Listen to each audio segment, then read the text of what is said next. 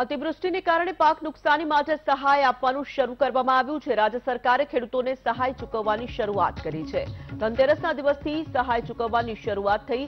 અત્યાર સુધીમાં રૂપિયા સાત લાખ રૂપિયા સહાય ચૂકવવામાં આવી છે. કુલ એક લાખ વીસ હજાર ખેડૂતોને સહાય માટે અરજી કરી છે. ચાર જિલ્લાના ત્રેવીસ તાલુકાઓ માટે સરકારે પેકેજ જાહેર કર્યું હતું.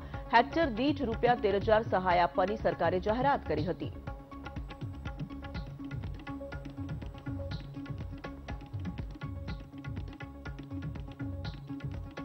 ધનતેરસનો દિવસ ખેડૂતો માટે શુભ એટલા માટે છે કે રાજ્ય સરકારે અતિવૃષ્ટિમાં જે ખેડૂતોને નુકસાન થયું છે, એનું સહાયની ચૂકવણીની શરૂઆત કરી દીધી છે. આપણી સાથે કૃષિ મંત્રી જોડાયા છે. એમની સાથે વાત કરીશું.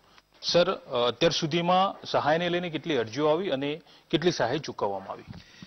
મને મળેલી માહિતી મુજબ, અત્યાર સુધીમાં લગભગ એક લાખ ને વીસ હજારથી વધુ ખેડૂતોએ ઓનલાઈન અરજી કરી અને સહાય માટેની માંગણી કરેલ છે.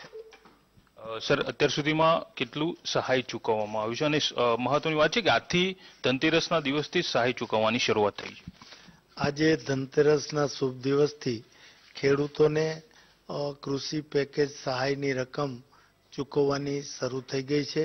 અને અત્યાર સુધીમાં લગભગ સાત લાખ રૂપિયા જેટલી રકમ ખેડૂતોના ખાતામાં જમા થઈ ગઈ છે.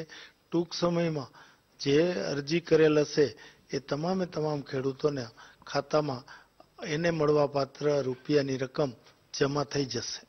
સર શું અપેક્ષા રાખી રહ્યા છો? કેટલા ખેડૂતો સહાય માટે અરજી કરી શકે છે? આપની સરેરાશ કેટલી સંખ્યા હોઈ શકે છે?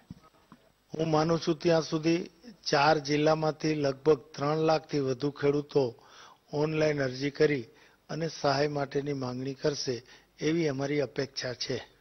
સર બીજું જિલ્લાઓમાં તો સહાય આપવાની શરૂઆત થઈ ગઈ છે. પરંતુ અન્ય જે સાત જિલ્લાઓ છે, જેનું સર્વેની કામગીરી પણ પૂર્ણ થઈ ગઈ છે, તો એ ખેડૂતોને ક્યારે એમને અરજી કરી શકશે અથવા તો એમની સહાય ક્યારે મળશે?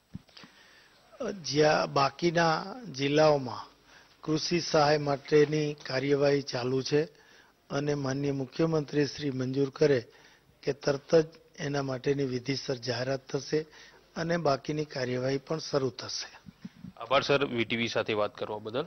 તો ચોક્કસથી ધનતેરસના દિવસે જ ખેડૂતોને જે સહાય છે એની ચૂકવવાની શરૂઆત થઈ ગઈ છે. આજે, અત્યાર સુધીમાં સાત લાખ જેટલી સહાય ખેડૂતોને ચૂકવવામાં આવી છે.